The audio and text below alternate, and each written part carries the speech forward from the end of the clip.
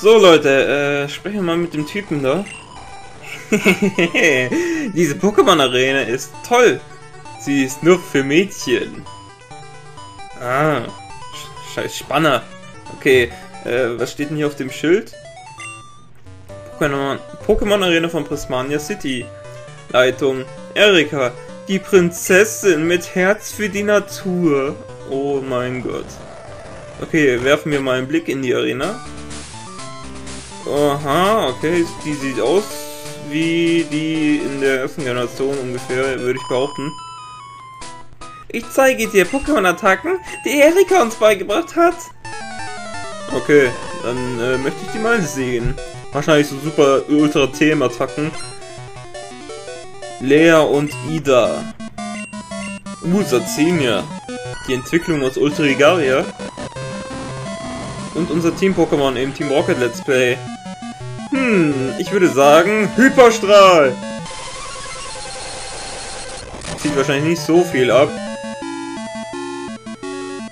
Ja, okay, es hat doch viel abgezogen, aber es hat nicht zum One-Hit-Kill gereicht. Hm, woran möge es das liegen? Also sicher nicht an der geringen Spezialverteidigung, äh, Angriff. Der ist nämlich perfekt. Zu niedrig. okay, äh, man setzt man eigentlich nicht Psychokinese. Ich meine, der Attacke ist sehr effektiv.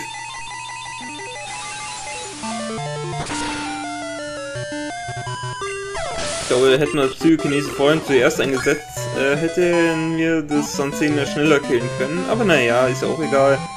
Ich glaube, jetzt kommt Giflor. Jawohl, die Pokémon sind ja, die werden ja beide immer zusammengenommen, die Pokémon, Satsenia und Giflor. Weil die, die sich beide, äh, weil das beide Entwicklungen mit einem Blattstein sind. In der ersten Generation. Giflor, unser Team-Pokémon im, oh Gott, im Rocket, nee, im Rot Speed Let's Play.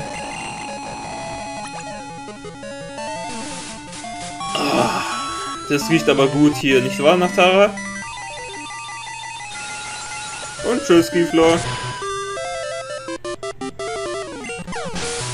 Gut, und jetzt hätten wir auch die zwei Zwillinge besiegt. Oh, wir haben verloren. Ja, so schnell kann es gehen, was? Gut, hier sind zwei Trainerinnen. Wir können so auf diese Art, äh, ja, wenn man wenn wir jetzt hier geradeaus laufen, müssen wir sofort bei, gegen die hintereinander antreten. Aber wir können die auch einzeln ansprechen und einzeln gegen die kämpfen. Aber ich bevorzuge es lieber, wenn wir sowas machen. Denn das geht schneller. Glaubst du, dass eine Pokémon-Arena nur mit Mädchen selten ist? Ja, zumindest, ja. Also in Kanto ist es, glaube ich, die einzige Arena nur mit Mädchen. Würde ich behaupten, ich bin mir nicht sicher. Aber wahrscheinlich ja. Ein Hobelpfurz. Okay, was machen wir denn mit Hobelpfurz? Wir furzen jetzt ins Gesicht. Nein, äh... Ähm, machen wir es mal ganz harmlos wieder. Hyperstrahl! Baumwollsaat. Oh mein Gott. Du senkst meine Initiative, oder? Ja. Aber Hobelpfurz ist eh schon schneller als ich. Mensch, Hyperstrahl, jetzt musst du aber auch mal treffen. Triff! Na los! glaube, das wird ein Rollenkill, weil Hubelfurz hat nicht so ein hohes Level. Ja, genau. So, jetzt müssen wir Nachtara austauschen, weil äh, Nachtara paralysiert ist und weil Nachtara eine Statusveränderung hat. Das ist nicht gut. Ich wechsle jetzt mal zu X-Bats. Hopspross. Ein Flug-Pflanzen-Pokémon. Wird zu Papunga. Ich glaube, dieses Pokémon kommt dann auch als letztes. Egelsamen. oh Mann, Entschuldigung. Das wird ein One-Kill, das kann ich sicher sagen, jawohl. Gut, und jetzt kommt, glaube ich, Papunga, die Entwicklung äh, aus Hubbleports und die äh, zweite Entwicklung von Hopspross. Ich glaube, dieses Pokémon hatte ich auch mal als Team-Pokémon. Damals habe ich dem meinem Papunga Solarstrahl und Sonnentag beigebracht, in Kombination mit Schlafbruder. Das war auch richtig übel, weil Pambonga hat eine hohe Initiative. Wenn der Schlafbruder zuerst ganz trifft, da muss man einfach, da kann man ganz bequem Sonnentag einsetzen und auch Solarstrahl. Das ist eine super Taktik. Ach nee. Ja doch, das ist echt eine gute Taktik. Du solltest mal darüber nachdenken. Hä? Du willst nicht kämpfen. Na gut, dann laufen wir irgendwie jetzt wieder hin. Oh, ein Kampf? Das macht mir ein bisschen Angst. Aber von mir aus? Okay. Ich mach's auch ganz schnell. Nimm da Maus, keine Angst haben. Du hast eh nur ein Pokémon, das geht ratzfatz. Oh, Kokowai. Kokowai.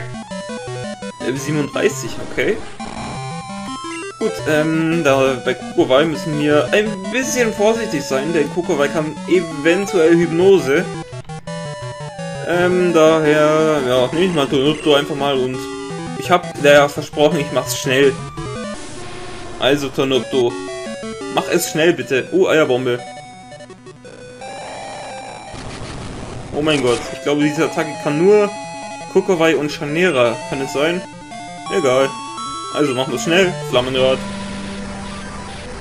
Aber irgendwie habe ich das Gefühl, er überlebt den Flammenrad. Aber ich glaube es eher nicht. Aber ich glaube es irgendwie doch. Na, okay, ich hatte Unrecht. Gut, Nicole hätten wir ratzfatz besiegt. Ach, das war es? Ja, das war es. Und hier ist sie auch schon. Nur noch eine Trainerin steht vor ihr. Hast du die Blumen betrachtet oder mich? Was glaubst du denn?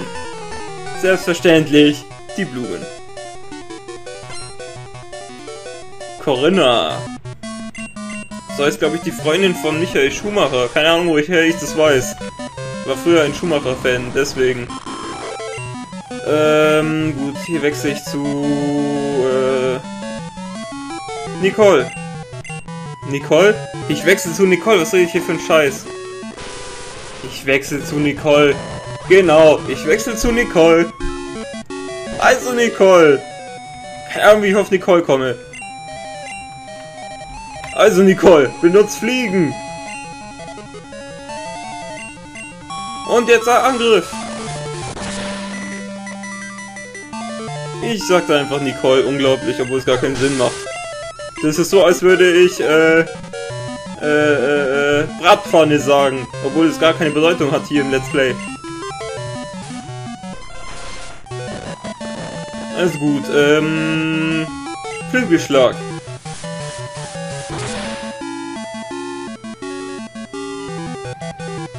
Und die Vorentwicklung von Kokowai hätten wir auch besiegt. X-Bat, aka Nicole, kurz vor Level Up. Und jetzt kommt Parasek. Die Entwicklung aus Paras, kann man sich sicher auch denken. So, Parasek hat eine Vierfachschwäche gegen Flugattacken, da reicht ein ganz normaler Flügelschlag auch aus. Der Parasek ist vom Typ her Käfer und Pflanze. Und beide Typen sind schwach gegen Flugattacken, daher vierfach stark. So, Nicole erreicht Level 44. Wie ärgerlich. Ach ja, und grüß Nicole von mir, ne? So, hier ist Erika. Hey. Zweiter Versuch.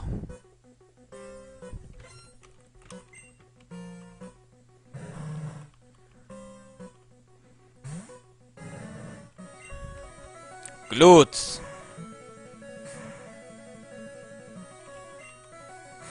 Ehem, ehem. Langweile mich nicht mit deiner Umklammerung. Das ist die schwächste Angriffsattacke ever. Ich sagte, schwächste An Angriffsattacke ever. Hallo.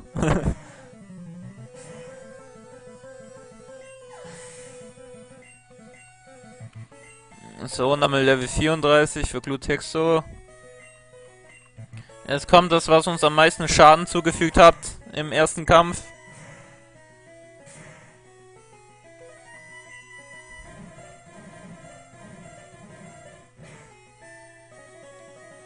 Ja, diesmal zieht die Säure nicht so viel ab. Vielleicht zieht Säure mehr ab, wenn der Gegner vergiftet ist. Kann das vielleicht sein? Weil unser Glutexo war vorhin vergiftet. Ja, hätte es sein können, dass es mehr abgezogen hätte. Oder sogar hat. Muss ich nachschauen im Wiki.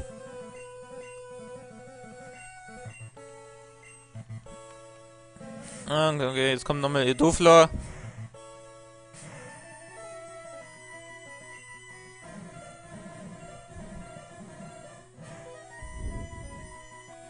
Lol, jetzt schaffen wir es beim ersten, äh, ohne zu wechseln. Alter Schwede. Was war denn da vorhin dann los? Dann müsste doch, dann lag es doch an Säure und an der Vergiftung.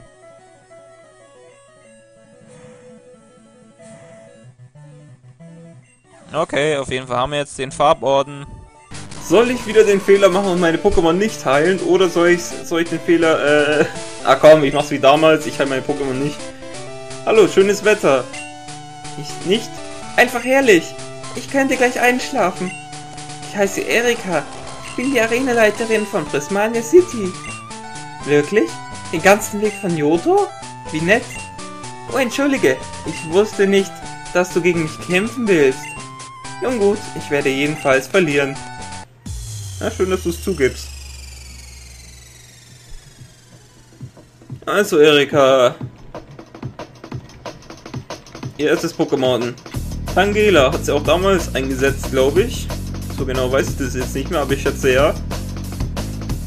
Level 42. Ähm, ich glaube, ich sollte ein bisschen vorsichtig bei Erika äh, auf, äh, aufpassen, ja, aufpassen. Vorsichtig aufpassen. Sagt man das so? Nein, wahrscheinlich nicht, aber egal. Ist mal wieder mein eigenes Deutsch. Vorsichtig sein. Vorsichtig sein. Ich sollte vorsichtig sein. Meine Güte. Wisst ihr, es ist so, wenn ich kommentiere, dann versuche ich immer meine Sätze zu verbessern, die ich aussprechen möchte. Da denke ich mir immer, ah, das könntest du vielleicht anders sagen und so, dann klingt es besser. Und dann hört sich scheiße an und dann stotter ich. Immer wenn ich stottere, dann, äh, ja, dann denke ich an sowas. So wie jetzt gerade eben. oh Mann, es ist, jetzt kommt das, was ich befürchtet hatte. Schlafpuder. Ah, schade, dass wir keine Puckelflöte haben. Tigersauger, was? Die Attacke wird irgendwie zu häufig überschätzt. Die gar nicht so gut ist. Also gut, was machen wir da? Ich schau mal nach, ob wir einen Aufwecker haben. Was habe ich getan? Ah, okay. Ähm. Scheiße. Los, X-Bot, wach auf! Nein! Na egal, die Attacke zieht eh nicht ab. Nichts ab, meine ich. Nur ein paar KP. X-Bot, du wachst jetzt auf, ja? Ansonsten müssen wir über deine Versicherung reden. Über deine Unfallversicherung, weil du, äh, wenn es so weitergeht, hast du noch einen Unfall. Unfall, keine Ahnung, wie ich jetzt darauf komme. Oh Gott, was sehe ich hier für Müll? Ich habe gerade gepennt mal wieder. Ich sollte, oh Gott, ich habe vergessen, ich sollte nicht aufnehmen, nachdem ich gepennt habe. Ich habe gerade ein Nickelchen gemacht, deswegen. Deswegen bin ich jetzt so ein bisschen, ja, konfus, sage ich mal. Naja, aber da muss ich jetzt auch durch. Okay, Blue Bella, die Entwicklung äh, aus Dufler, wenn man ihm einen Sonnenstein gibt. Ähm, da setze ich Fliegen ein, weil Blue Bella ist mir ein bisschen unheimlich. Sonnentag. Ich wette, die probiert eine Kombination mit Solarstrahl.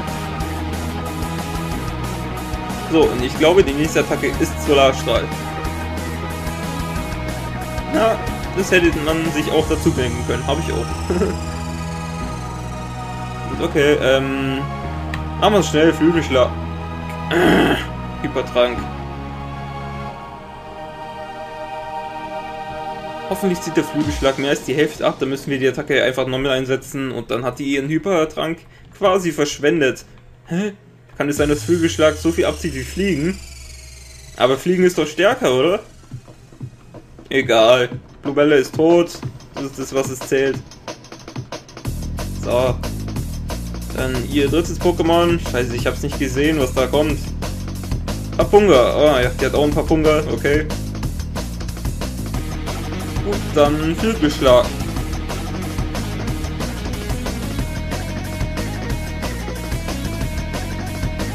Ja, One-Kill. Sehr gut, X-Bot aber Papunga spielt ja auch eher auf Initiative. Aber unser X-Bot hat anscheinend eine höhere Initiative als ihr Papunga. So, und jetzt kommt ihr letztes, Sazenia. Gut, Sazenia ist ein größerer Gegner, daher benutze ich mal Fliegen. Was zum Säure? Sicher? Ich meine, Säure ist nicht besonders stark, aber wirklich Säure? Naja, egal, du bist tot. Und Level 45 für X-Bats. Oh, ich gebe mich geschlagen. Du bist außergewöhnlich stark. Ich gebe dir den Farborden. Uh, 9000 Kohle, nicht schlecht. Damit haben wir die, äh, den, äh, ja, das äh, wieder eingebracht, was wir in der Spielhalle ausgegeben haben. Das war ein herrlicher Kampf. Das spornt mich neuen Taten an. Bitte nimm diese TM an. Es ist Gigasauger. Das ist eine schöne Attacke.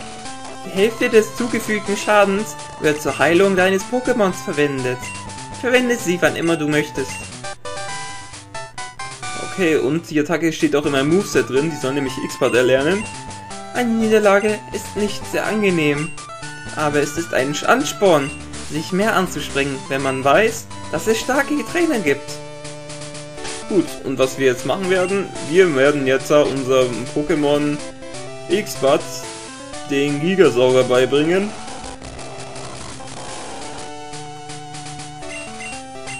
So, Gigasauger, und zwar, ja, X-Bat. Apollo kann auch Gigasauger, ja, kann ich mir vorstellen.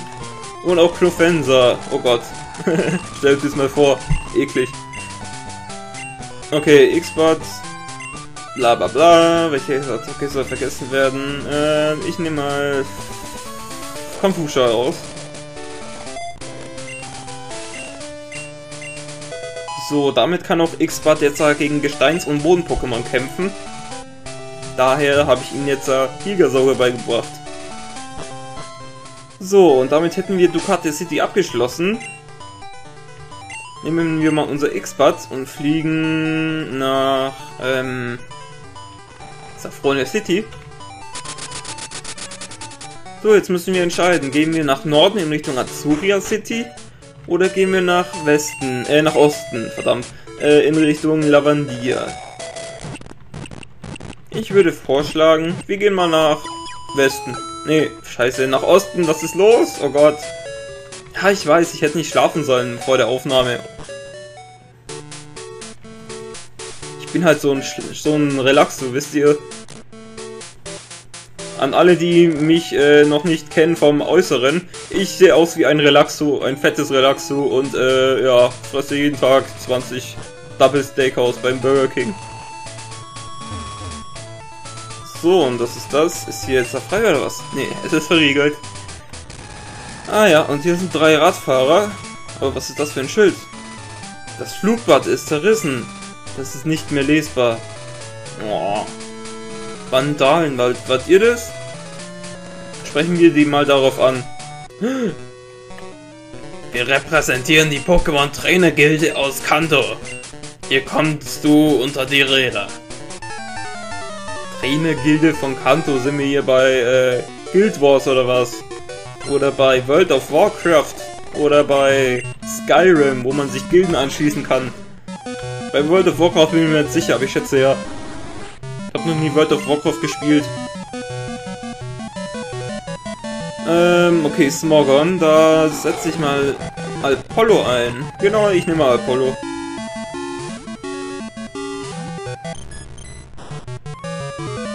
Oh, gut, dass wir Apollo eingesetzt haben. Das erleichtert unseren Job, wenn er Finale einsetzt. Gut, hast du noch irgendwelche Smogons? Ja, klar. Der hat lauter Pokémon, die Selbstmord begehen wollen.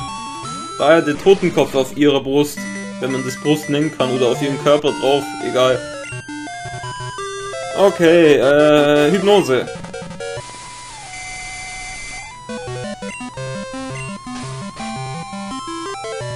Jetzt, äh, verpass ihn Albträume, Apollo, sodass er nicht mehr aufwacht. Okay, gute Arbeit, Apollo. So, nächstes Pokémon. Ein weiteres Smogon. Oh Mann, gegen wie viele Smoggers haben, haben wir in diesem Let's Play schon gekämpft? Allein äh, gegen Team Rocket waren das schon sehr viele.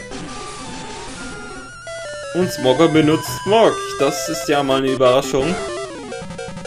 Oh mein Gott, ein Volltreffer. Statt 1 KP zieht die Attacke 2 KP ab. Ich bin begeistert. Okay, jetzt nochmal Hypnose. Komm. Warum triffst du jetzt nicht Apollo? Hör auf zu streiken, Mensch. Wir sind hier nicht bei, bei die Bahn.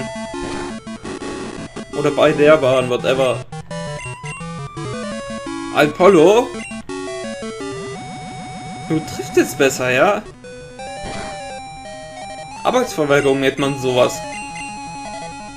Apollo, ich mein's ernst. Du solltest jetzt besser treffen, ansonsten bin ich wütend auf dich. Soll ich einen X-Treffer einsetzen? Leistet es vielleicht deinen Job oder was? Komm, ich setze jetzt keinen X-Treffer ein, das sind nur ein paar Smogons, das schaffst du doch schon. Also, war doch jetzt nicht so schwer. Und jetzt, äh, mach deine Lieblingsbeschäftigung. Raube seinen Traum und verpasse ihn Albträume. Und tschüss, Smoggy Smogon. Okay.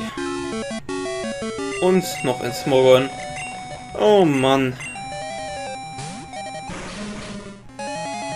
Oh, ist das Level 30? Uh, ich habe solche Angst. Gegen dieses Smogon, äh, gegen diesen Trainer sogar, hätten wir vor 20 Parts auch antreten können.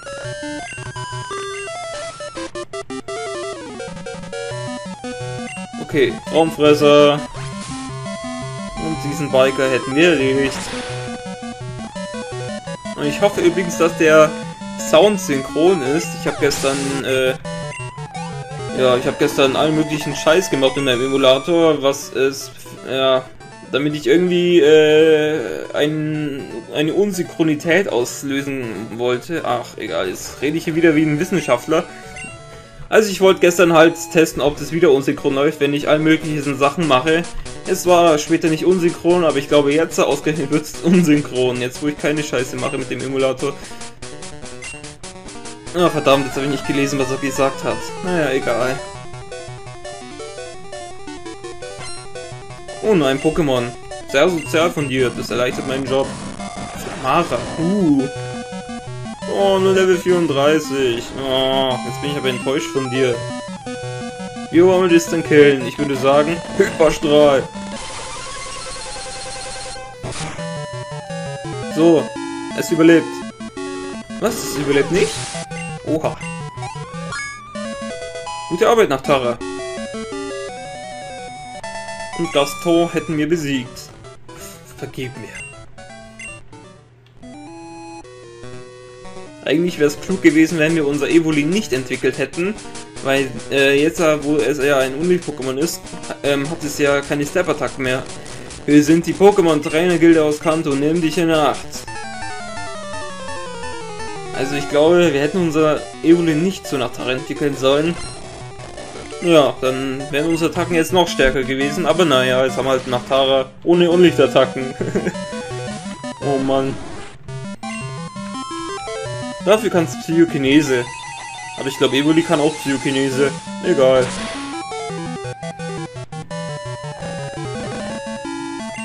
Oh, tschüss, Morgon. Oh Mann, lauter Smogons. Oh, come on, das gibt's doch nicht. Ich hasse euch. Und tschüss. Team Pokémon vom Team Rocket Let's Play.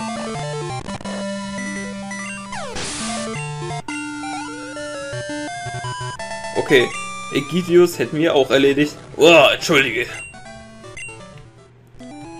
Alles klar, die drei Trottel mit ihren Smogons hätten wir geschlagen. Mal in Richtung Lavandier. Hier ist einer. Wie funktioniert der Magnetzug? Ich würde sagen, mit Magneten. oh Mann. Okay, scheiß Streber. So Strebe ist der. Das hätte er sich doch selbst zusammenreimen können. Ein Slimer, schon wieder ein Gift-Pokémon. Psychokinese und der Sack. Sack? Der Saft ist gegessen. Sagt man das so? Nee, das sagt man doch anders, oder? Die Sache ist gegessen. Ach komm, was. Ah. Ja, sorry, falls ich, falls ich hier jetzt also so viel Scheiße rede in dem Part, aber ich habe gerade gepennt, wie ich schon zum hundertsten Mal sage. Und bin noch ein bisschen, ja, neben der Spur.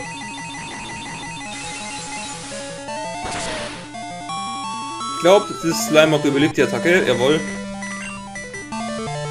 Ich sage jetzt nicht, dass Slimeock eine hohe KP-Anzahl hat und es deswegen die Attacke überlebt hat, da ich das schon zum 100. Mal dann sagen würde. Und Slimeock hätten wir erledigt. Und nach Tara levelt jetzt ganz schön. Ich möchte nur den Magnetzug sehen. Dann gehst du am besten aus der Fallen City in die Richtung. So. Vielleicht haben wir Lavandia erreicht. Ich glaube, das hier ist der letzte Trainer. Jawohl, das müsste der letzte auf der Route sein. Hm, du hast viele Orden. Elf Stück, genau gesagt.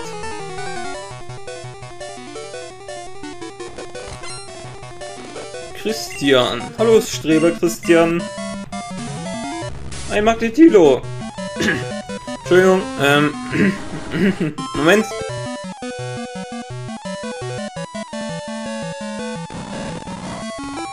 Ähm. Na komm, machen wir schnell. Ich glaube, der hat mehrere Magnetilo oder Magnetons. Dann nehme ich Zanutto. Scheiße, scheiße, scheiße. Weißt was? Erdbeben. Das halte ich von deinen, äh, deiner Donnerwelle. Nein! Nein! Ah, sowas hasse ich wie die Pest, Verwirrung und Paralyse. Schlimmer geht's kaum. Boah, immerhin trifft jetzt diese Erdbeben. Das ist gut. Übrigens, dein Magnetilo hätte schon längst ein Magneton sein können, wenn du nicht so dumm wärst und es nicht entwickelt hättest.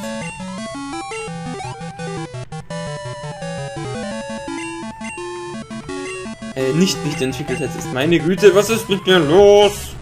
Ich weiß, ich bin gerade so, äh, komisch drauf. Ich werde so fühlt sich ein Bekiffter. Hey Leute, ich habe gerade gekifft, ist das nicht toll? oh Mann.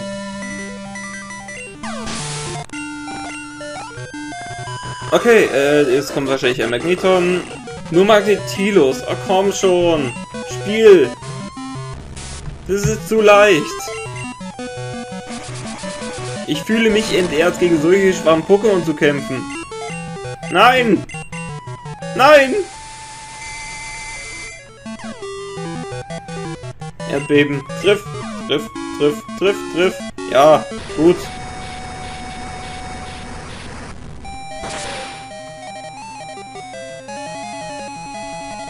Okay, das ist schon mal sehr gut.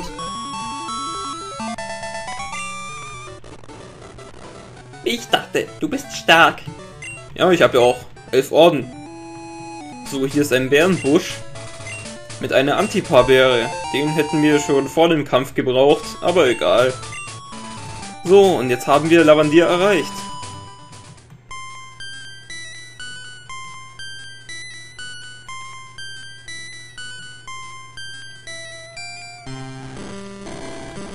Übrigens, die Musik ist super. Eine der besten Musik, Musik, eine der besten Musiktitel oder Musiksoundtracks, die es gibt. Diese Musik, die gefällt mir so sehr. Viel besser als im alten Spiel. Lavandia hat jetzt eine fröhliche Musik. Damals war noch alles unheimlich mit dieser grässlichen, hässlichen Musik. Aber nun ist alles fröhlich mit der neuen Musik. Ja, ja. Okay. Gut, gehen wir ins Pokémon Center. So, und ich würde sagen, im nächsten Part schauen wir uns Lavandier an. Und ja, dann äh, schauen wir uns auch im nächsten Part noch den Felstunnel an. Werde ich heute auch noch hochladen. Ähm, ich hoffe bis dahin, dass der Part nicht unsynchron ist und dass ich ähm, langsam wieder bald zu Sinnen komme. okay, dann äh, bis zum nächsten Part. Ciao Leute.